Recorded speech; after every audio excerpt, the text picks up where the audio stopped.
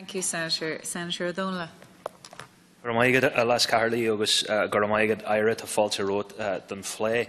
Um, like my colleague uh, Senator Boyhan, uh, we won't be uh, supporting uh, this amendment, although I do sympathise, uh, Brian, with a lot of the sentiment uh, expressed uh, in it in terms of the socio-economic uh, issues, in terms of the geographical and transportation and access uh, issues. There's a very strong uh, argument to be made there, I think, in the broader macro sense, uh, and it's not for this uh, legislation. That's a fight that we we'll stand with you on for another day.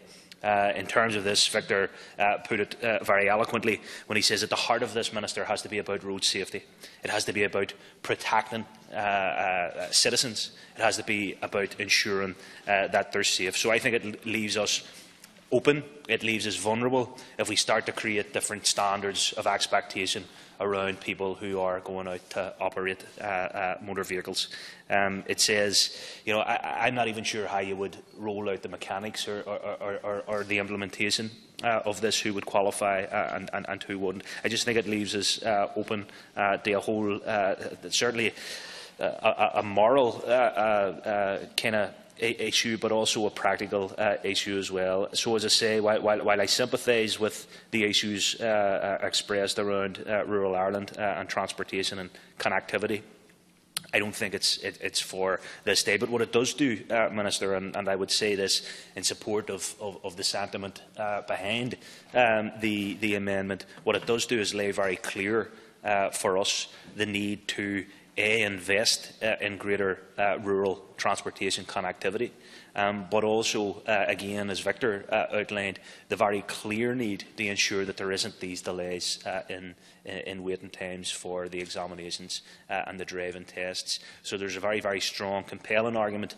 on you, Minister, to ensure that those are brought down for all of the reasons um, expressed by previous speakers. I think if we succeed in doing that, and if we assess uh, and, and, locate the necessary uh, and worthwhile uh, uh, resources to this legislation and ensure that it is properly resourced, then we will see those issues overcome in, I think, a much more feasible, a much more practical, but above all else, in a way that ensures greater safety, greater responsibility and greater competency on our roads. Loved ones, and none of us want to see tragedy or, or, or accidents uh, on our roads. But it comes to the point where I think, in relation to this issue, you have to make a call and you have to set uh, a, a certain standard and a certain expectation. And while there has been a list of things that people may have obtained that, that would be included uh, in this uh, amendment, what they don't have is the passing of the driving test.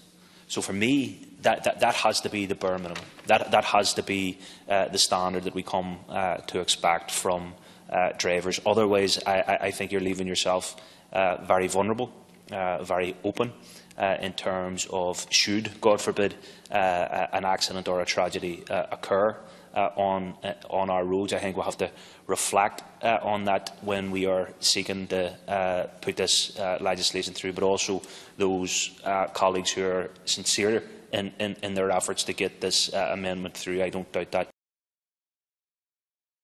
that. for, for one moment.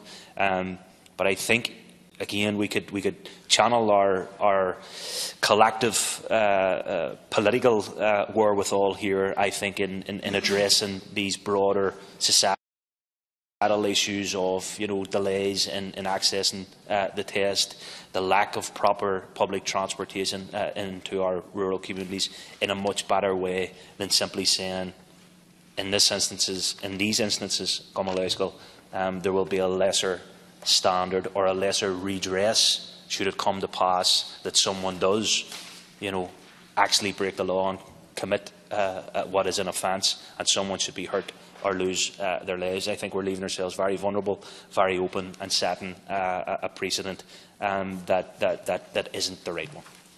Thank you. Uh,